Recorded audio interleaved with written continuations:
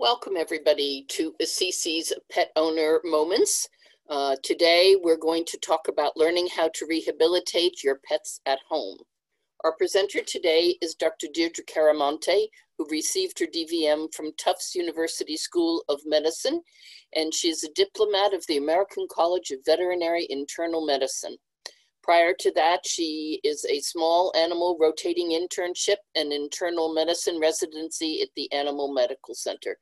While there, she was a staff internist and the director of the Tina Santi Flaherty Rehabilitation and Fitness Unit. Dr. Chiaramonte is certified in canine and equine rehabilitation and acupuncture. In current fields of interest are rehab, obesity, and geriatrics.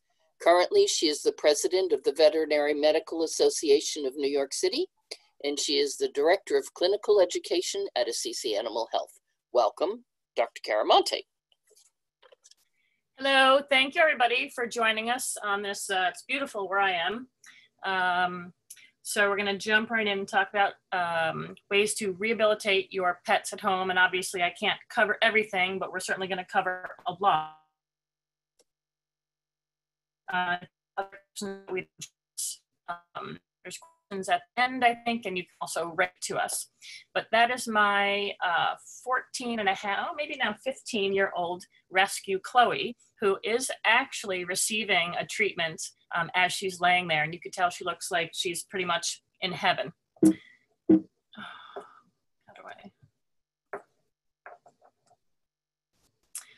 So one of the things that we would like to discuss is sort of the change of um, how the change in the veterinary landscape about pain um, has occurred over the last 10 years.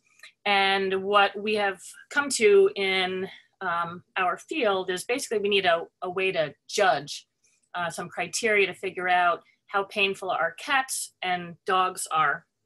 And this is most easily done at home when they're relaxed because when they come into the veterinary office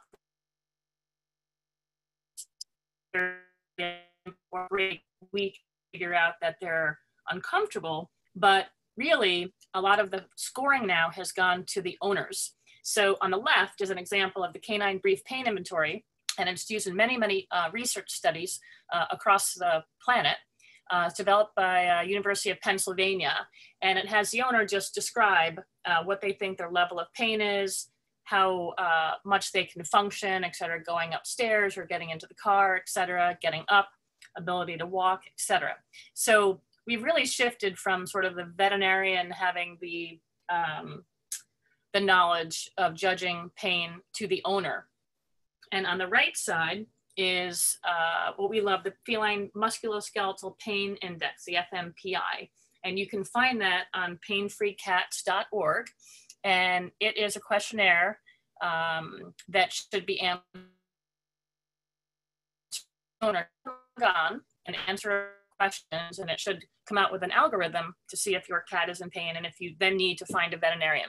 But these are two very good tools to use uh, for the owner. Oh, you're annoying me today. Okay.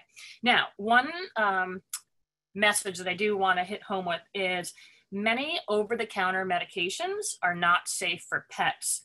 And some are safe for dogs and extremely toxic for cats, etc. So you should not attempt to give your pets any human medication unless that medication and dosage has been previously cleared by your veterinarian. And it's just unfortunate that sometimes we you know we think, hey, it's um, an aspirin, hey, it's an Advil, etc. Um, and one dose of an over the counter medication can cause life threatening reactions. So here's a number for animal poison control, a very good number uh, to have handy. And second, uh, when talking, they always mention Dr. Google in the internet search. Um, so I love Google. I use it every day, uh, and that is very good for information at our fingertips, but not good for advice. So please check with your veterinarian before giving any over-the-counter medications, etc. All right, so what we're going to talk about today, what the owners can do at home, uh, is passive range of motion, uh, cryotherapy or ice therapy, heat therapy, pulsed electromagnetic field therapy, massage, and therapeutic exercises. So our first one I love I'm just going to play it while we're speaking, is passive range of motion. And that's a movement of a limb performed without a muscle contraction by whomever, owner, vet, technician. Passive range of motion helps prevent joint contracture and shortening of the tissue. So if the dog or cat is mm. leg up and solve the tissues. And this helps maintain mobility between the Deirdre, your internet must be going in and out because your voice keeps disappearing. Hmm. I don't um I don't know what I can do necessarily about that unless I just get rid of this for a second and check. Okay.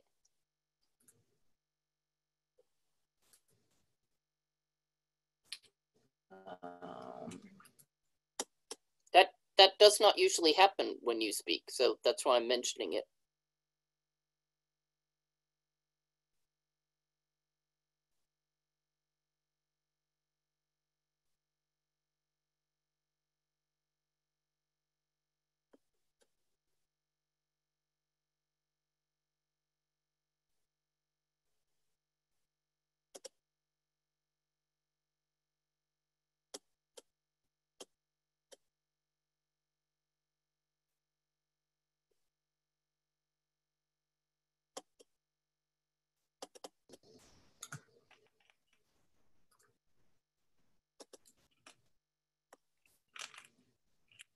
There we go. All right, let's see if that's better. Thanks. Uh, thank you. Um, this also helps bathe every joint. So what's important is all the nutrients in a joint get circulated throughout the whole joint and any waste products get diffused out. And it's important to maintain a range of motion that's within the patient's comfort level. Now, this patient you could tell is laying down uh, it's not sedated, and obviously it's not being bothered by any of these exercises. But in any type of situation, unless you're dealing with a fracture, passive range of motion is really a wonderful, wonderful way to keep all those tissues elastic, etc. Um, now, because passive range of motion is not performed with a muscle contraction, the person is doing the muscle contracting, it's not considered a strengthening exercise. So this is more of your any dog that's down or paralyzed. Um, it's very imperative to have this. But we will talk about strengthening exercises because those are important for at-home rehab. So ice therapy uh, decreases muscle spasms by decreasing the muscle metabolism and decreasing byproducts. And byproducts will act as irritants. It also will cause a peripheral muscle constriction and will slow down nerve conduction velocity. And why that's important is because that's how they register pain is through all the superficial nerves that go up to the spinal cord and then go up to the brain and register as pain. So if we can slow down that nerve conduction, they don't get the feeling of pain.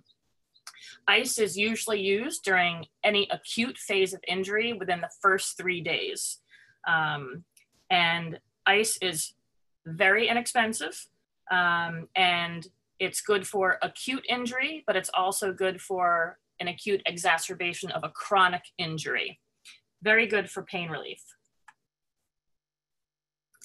All right, moving on to heat therapy is used after the first 72 hours. And this will help to decrease joint stiffness, relieve muscle spasms, reduce swelling, and increase circulation to an area. So first, you want to take care of slowing everything down. Now that the inflammatory mediators are gone, you want to bring circulation in to help increase uh, joint stiffness and edema. Uh, now, when in doubt, if you're in doubt, definitely uh, stick to ice. Okay, through various techniques, um, massage can increase arterial, venous, and lymphatic flow. It can break down and prevent tissue adhesions. And while a lot of uh, practitioners, I will say, probably of every um, dis discipline, uh, would scoff at massage as being a medical treatment. But it really, they've done many, many studies on massage therapy. And through sensory input to the peripheral tissues, nerves, muscles, um, you can actually achieve relaxation, which is so important. And also, a lot of patients will develop scar tissue almost. So let's take a very old arthritic Labrador retriever who's had two surgeries on each knee or surgery on each knee. And his shoulders must be bearing the burden of always carrying him around, trying to get him up from a sitting position, uh, trying to take a lot of the weight off. And so just massaging those sore uh, neck tissues can really help make a difference. And I just love this video.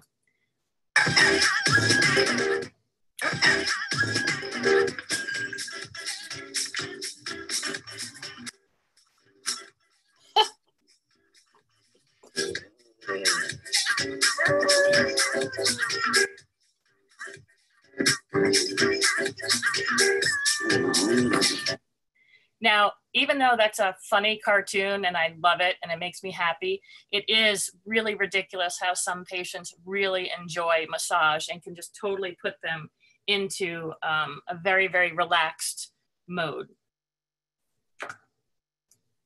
All right, next we're gonna talk about one of my favorites, pulse electromagnetic field therapy. Sometimes it's misleadingly called magnetic field therapy, but it's not about magnets. It's pulsing electromagnetic fields.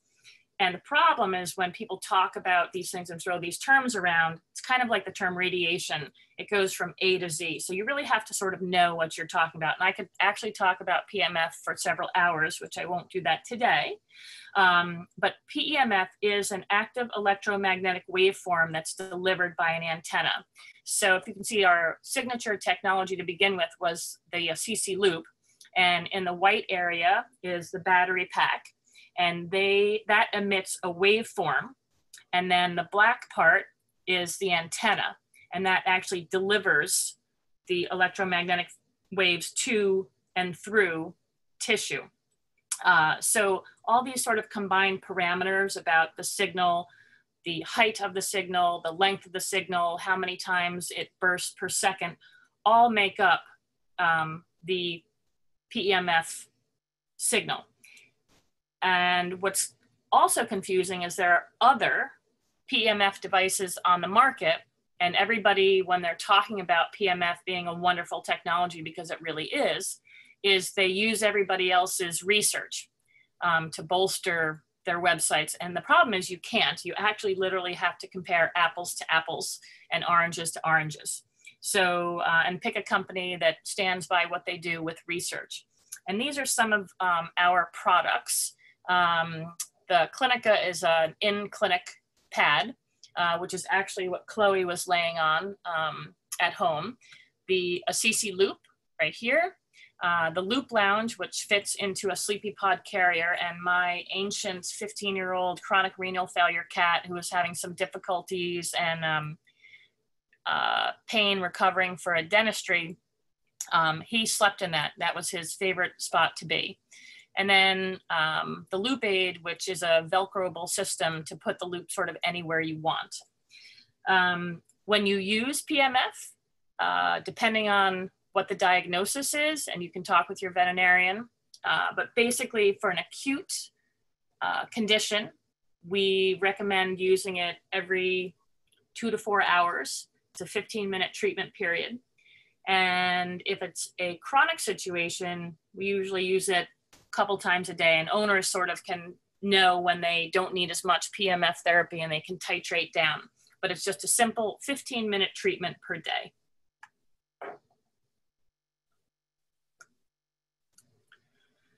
And I should also mention about PMF, Some people worry when you're talking about electromagnetic field therapy, does it cause cancer or anything like that? Um, you can imagine how many people are on their cell phones every day. We are one one thousand, one thousand. I can't say that. One over a thousand less than a cell phone. So we do not cause cancer. Now, therapeutic exercises are actually the cornerstone of rehabilitation. Why is that? So we use ice, heat, massage, and PMF for pain relief but you know that if you want to get in shape and strengthen something, you got to exercise. And that's the deal. So we usually use these modalities, ice, heat, PMF, massage, either before or after we actually put them into an exercise program. And this should be, you know, um, detailed by your veterinarian or your therapist, but very, very important for strengthening, balance, coordination, retraining, and conditioning. And people don't even understand, they can't, it's, let me, I'll make it more simple. Even something as simple as a paw shake, which this lovely yellow lab is doing on the left, he is exercising his elbow, which elbow is one of the harder ones to target, but doing paw shakes can absolutely help uh, strengthen um, an arthritic joint that is now pain-free by using our other modalities. Cavaletti rails, I love. They're very, very simple to use. Those are those white ones. Those are little PVC pipes, but people at home have used ladders. They can lay down broom handles, really anything that the dog has to step over. And if you can imagine this Cavalier King Charles Spaniel, probably when it walks around the neighborhood, does not have such a high leg lift just by walking. And just by doing this simple exercise, it's non-concussive, obviously the dog does not look stressed, that that dog is actually using different muscles, probably even engaging his core to get over those um, poles. So even something as simple as that is really a good exercise. Three-legged standing. So one thing that we want to do if we're rehabilitating something in an acute phase of post-injury or they're you know they had um, they're out playing frisbee and they got hurt and they're just you know they rested a couple days now you're going to start again.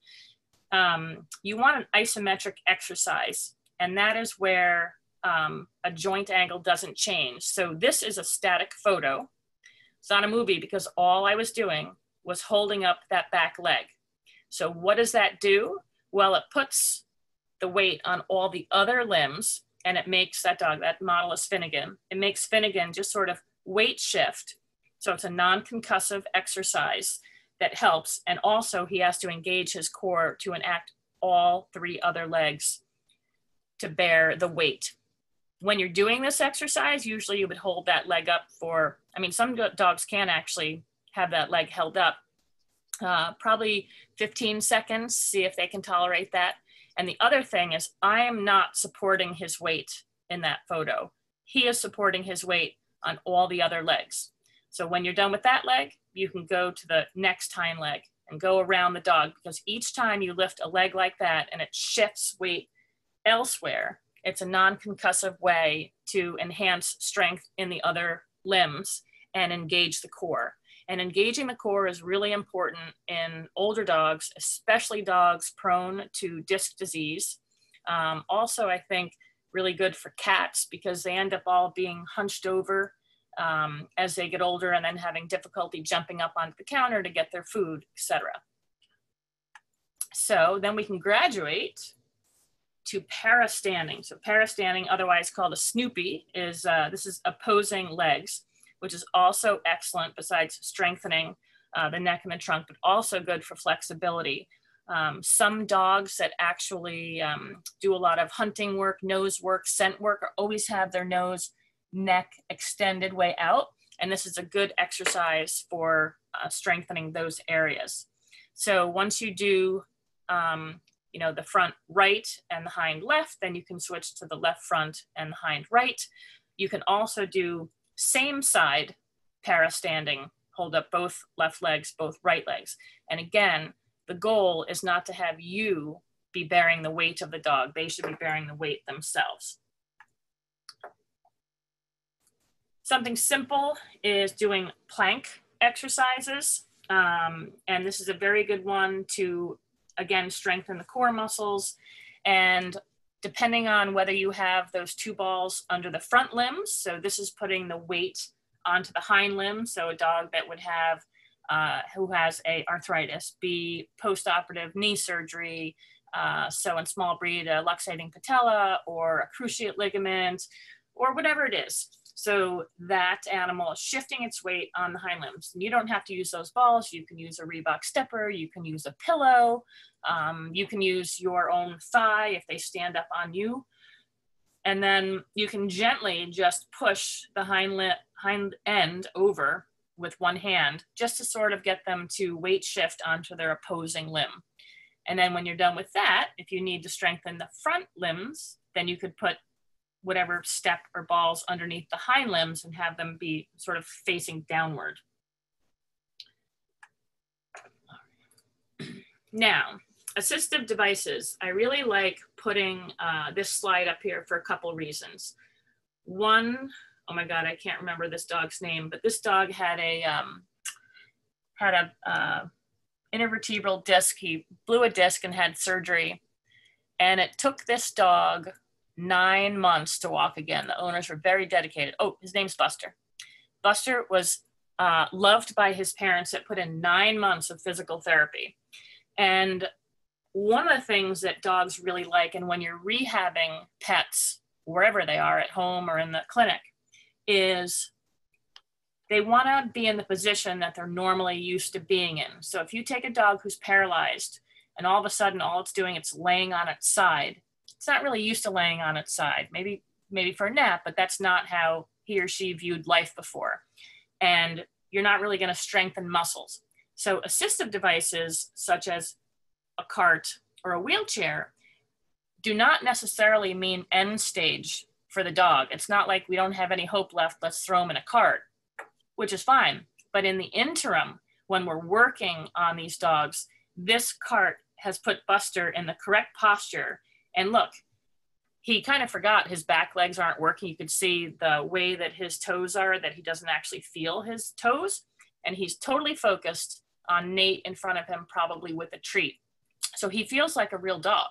And that's really good for their mental well being to be able to do the jobs they used to do. And sometimes some of those positive um, reinforcements, the endorphins, the memories, you know, we don't really understand everything about the neurological system, but I can tell you that a dog like this, with this type of apparatus, is gonna, if he's gonna walk, he's gonna walk sooner in this situation than he will laying on a side and being picked up every four hours with a sling or a towel underneath them to go outside and then have the owners perform range of motion, etc.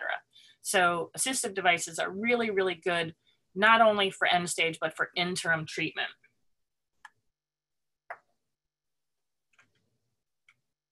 They're doing amazing, amazing work with orthotics and prosthetics if there happens to be an amputation. I mean, they're putting prosthetics on elephants and you name it. So I'm sure there's 10 uh, wildlife shows on prosthetics, but orthotics and splints are really good. Um, they've come a long way. One mistake or one misinterpretation um, is that you can probably never really buy an orthotic off the shelf. Um, it really should be made for that animal because every animal is so different and it needs to absolutely configure to that animal's leg as to not cause rub spots etc. Uh, but there's a whole host of good assistive devices out there. So uh, they can come into the clinic and see me, and I usually send them home with homework, but this is you rehabbing your pets at home. So one, uh, you should keep an activity scale or an activity log. And sometimes um, even we get sort of like, oh, you know, he's not really walking much better. But if you look at a video from three weeks ago and a video now, sometimes you're seeing different things. So it's really good to write down um, activities that are performed.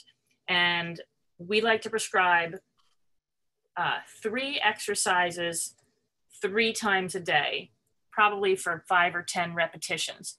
And during that time, when a dog or cat is starting out being rehabilitated, they're probably not going to be able to do 10 or 15 repetitions right away, um, or not going to be able to walk entirely across the kitchen. So it's really good to sort of uh, the owner to keep a log and tell us what they've been doing. Um, and also, after we've done with that exercise or those exercises for that day, at night, are they exhausted? you know are they going to bed much earlier and sleeping? So if they sleep longer than they're used to then you know you've probably tired them out doing too many exercises and you should back off. Uh, a couple repetitions um, for a few days until they get back into their comfort zone and then try to ramp up again. And um, it's many times just um, you know what the owner deems is best for the dog or cat, um, etc.